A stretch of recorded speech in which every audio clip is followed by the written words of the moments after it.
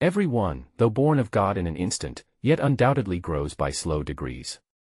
Vice does not lose its character by becoming fashionable. Let your words be the genuine picture of your heart. Certainly this is a duty, not a sin. Cleanliness is indeed next to godliness. Here then I am, far from the busy ways of men. I sit down alone, only God is here. In his presence I open, I read his book, for this end, to find the way to heaven. Is there a doubt concerning the meaning of what I read? Does anything appear dark or intricate? I lift up my heart to the Father of lights, Lord, is it not thy word, if any man lack wisdom, let him ask of God. Thou givest liberally and upbraidest not. Thou hast said, If any be willing to do thy will, he shall know. I am willing to do, let me know thy will. I then search after and consider parallel passages of Scripture, comparing spiritual things with spiritual. I meditate thereon, with all the attention and earnestness of which my mind is capable. If any doubt still remains, I consult those who are experienced in the things of God, and then the writings whereby, being dead, they yet speak. And what I thus learn, that I teach. God himself has condescended to teach the way, for this very end he came from heaven. He hath written it down in a book. Oh give me that book. At any price give me the book of God. Nay, if there be any mistakes in the Bible, there may as well be a thousand. If there be one falsehood in that book, it did not come from the God of Trut.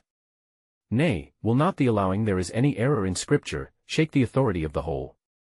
The faith of the Protestants, in general, embraces only those truths, as necessary to salvation, which are clearly revealed in the oracles of God.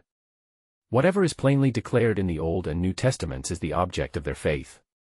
They believe neither more nor less than what is manifestly contained in, and provable by, the Holy Scriptures.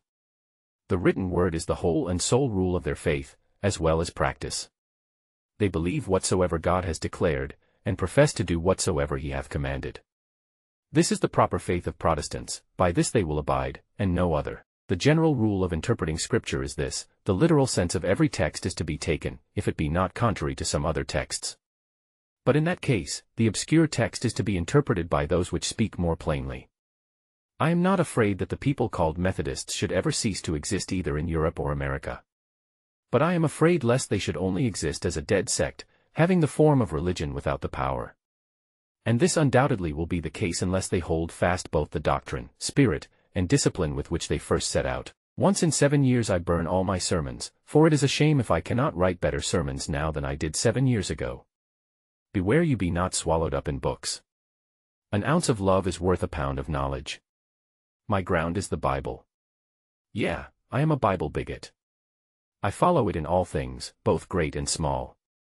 The best of it is, God is with us. The church recruited people who had been starched and ironed before they were washed.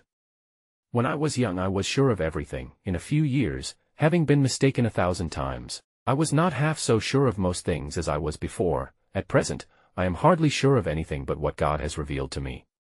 You may be as orthodox as the devil and as wicked,